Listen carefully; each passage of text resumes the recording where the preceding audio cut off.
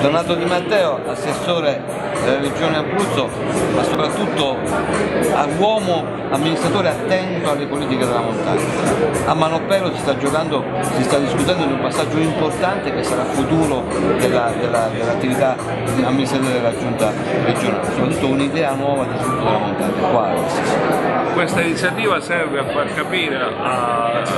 a, tutti che la nuova giunta regionale vuole avere un nuovo, ha un nuovo interesse una nuova attenzione per la montagna. Sarà predisposta una legge che però non è la legge eh, definitiva, dovrà essere eh, eh, una legge che coordina una serie di provvedimenti che vanno a intervenire su settori strategici dell'economia e, delle, e delle, dei fondi regionali. Parliamo dell'agricoltura, parliamo delle attività produttive, parliamo eh, del settore del, dell'abitazione, parliamo de, delle aree protette, tutti questi settori che fino ad oggi non, non hanno sviluppato un'attenzione un particolare per la montagna e la, la, montagna negli anni ha subito un arretramento rispetto alla forza più prorompente della costa. Oggi con questo nuovo interesse, con una legge coordinata che serva a, a, costruire le condizioni per attingere una serie di risorse specifiche che andranno destinate quota parte alla montagna, noi invertiamo questa condizione di eh, impoverimento della montagna. Passeremo da un territorio, quello della nostra montagna che rappresenta il 35%, che fino ad oggi è stato soltanto protetto e ha subito un, un forte, un forte decremento economico, a una nuova fase, quindi a un territorio che avrà delle risorse certe, una nuova attenzione della istituzione regionale e nazionale, perché anche a livello nazionale eh, c'è con la presenza di porchi, eh, stanno elaborando oramai addirittura d'arrivo una legge importantissima sulla montagna, questi nuovi provvedimenti creeranno lo sviluppo e la valorizzazione della nostra montagna. Questi cinque anni non saranno cinque anni inutili per ridare eh, un sorriso ai territori agli abitanti della montagna, ma saranno cinque anni significativi. Enrico Borghi, Presidente del Comitato Interparlamentare per lo Sviluppo della Montagna. Due passaggi importanti del suo intervento.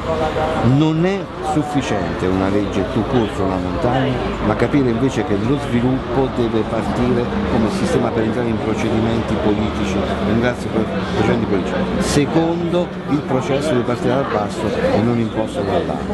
Quali sono quindi le prospettive? Le prospettive sono da un lato l'esigenza del riordino istituzionale per mettere in condizione i comuni di poter lavorare sul versante della nuova programmazione europea. In questo eh, il compito delle regioni è importante e penso che una regione come l'Abruzzo che sul tema della montagna ha una forte sensibilità sarà in grado di assicurare un rapido processo di riforma e di applicazione della legge del Rio che tiene conto della peculiarità dell'Unione dei Comuni Montani e del fatto che i sindaci vengono messi al centro del processo di riforma, sapendo che non è più la dimensione municipale quella che in maniera singola ed autonoma è in grado di assicurare eh, l'erogazione dei servizi, ma c'è bisogno di un ambito nel quale si costruisca una sostenibilità di carattere fiscale e un'efficienza dei servizi medesimi. Quindi il tema delle unioni diventa un tema imprescindibile, ineludibile per poter avere questa doppia capacità di lavorare sullo sviluppo, quindi tutto il tema della green economy, dell'agricoltura di montagna, della sostenibilità, del turismo dolce, della politica ambientale dei parchi, tutti i temi su cui questa regione è diventata un punto di riferimento e il tema della riorganizzazione dei servizi, scuola, sanità, trasporti, assistenza,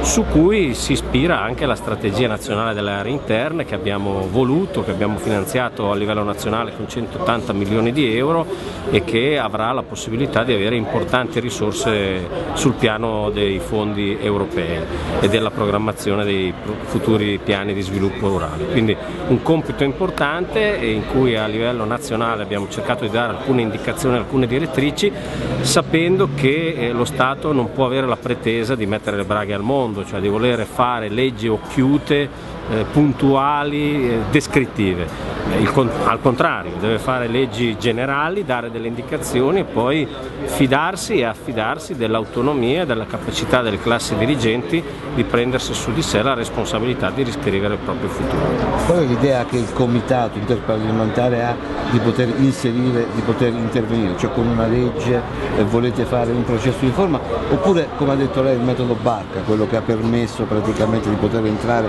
dentro i territori interne? Eh, è la seconda, noi vogliamo introdurre la peculiarità dei territori montani all'interno dei vari provvedimenti legislativi di riforma che il governo attua. Non dobbiamo fare una singola legge della montagna che rimane appesa a sventolare come una bandiera sul pennone. Dobbiamo introdurre il concetto della montagna nella local tax, per esempio, per fare in modo che il differenziale montagna riconosca nei costi e nei fabbisogni standard la peculiarità di un territorio che ha costi maggiori e minore capacità fiscale per abitante. Dobbiamo introdurlo all'interno del collegato ambientale, all'interno del Green Act, insomma all'interno di tutti i procedimenti di riforma che il Parlamento e il Governo stanno facendo per ammodernare l'Italia e per fare in modo che nella nuova strumentazione normativa e giuridica dell'Italia ci sia il riconoscimento e la peculiarità di questi territori.